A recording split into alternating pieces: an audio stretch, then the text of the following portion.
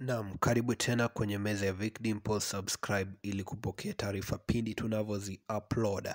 Taarifa za huzuni ambazo tumezipokea jioni ya leo ni kwamba Deputy Governor wa Baringo County Charles Kipng'ok ameweza kuaga dunia, na tunaendelea kufuatilia ripoti hizi ambazo zinasema kwamba aliweza kuaga dunia akiwa katika uwanja wa ndege wa JKIA, na kulingana na ripoti ambazo zinasambaa mitandaoni ni kwamba Charles Kipng'ok aliweza kudevelop breathing complications na muda mchache baadaye aliweza kuwa pronounced dead. Alikuwa akielekea katika shughuli katika kaunti ya Mombasa wakati ambapo tukio hili limempata, na kama kawaida sisi kama Vic Dimples tunatuma risala za rambirambi kwa familia yake tukisema kwamba roho ya Charles Kipng'ok iweze kupumzika pala pema peponi.